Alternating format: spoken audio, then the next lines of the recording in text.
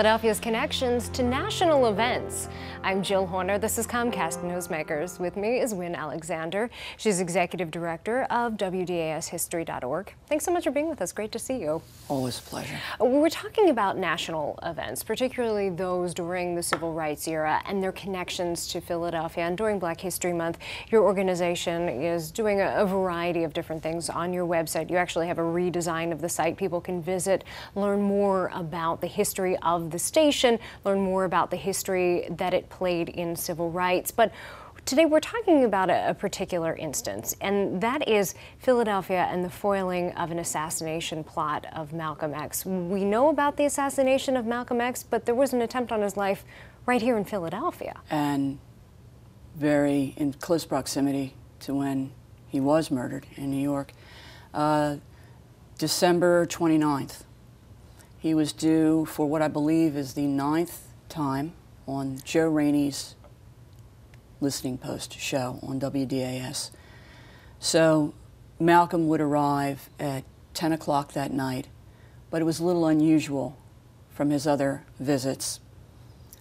According to, police, to newspaper reports, there were 75 to 100 policemen in the area, uniformed, plainclothes, 14 to 16 dogs had been combing the woods around WDAS because there was a, two solid leads, one from the FBI, saying that Malcolm was going to be assassinated at the station that night.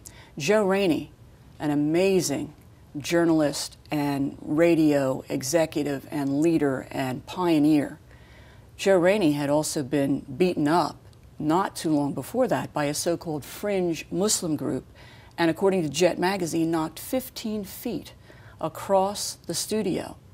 I think that the folks in Chicago, which was the home office of the uh, Muslim organization, I think they didn't like the fact that Joe Rainey was too friendly with Malcolm and having him on the air too much. Now Malcolm has come back from Mecca. He knows the truth about Islam.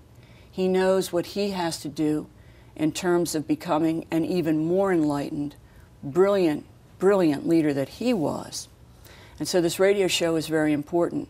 I assure you that when the manager of WDAS heard that there was going to be a hit, his first inclination would to be cancel the show. But yet it went on. Yet the station went through with it, the host went through with it, Malcolm X went through with it. Why did they continue even under threat of potential death, even under uh, light of the fact that they had to be surrounded by so much protection?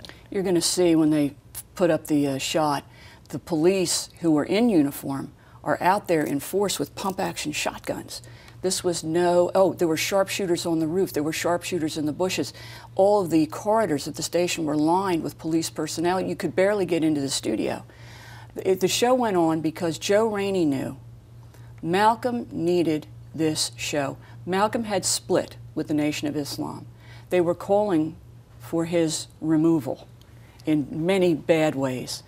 And he needed all of the publicity that he could get because he had formed two new organizations the uh, Organization of Afro American Unity and also uh, uh, a second organization. He needed to have members, and he needed for his mission to continue because it was so important. And when we just have a, a, few seconds left, but this is just part of the role that WDAS has played in American history, in black history, and you are also working on a documentary about the role of WDAS in the civil rights movement, and people can visit your website for more information about all of this. Thanks so much for being with us. Thank you. We've been talking with Wynne Alexander. She's Executive Director of WDASHistory.org. I'm Jill Horner.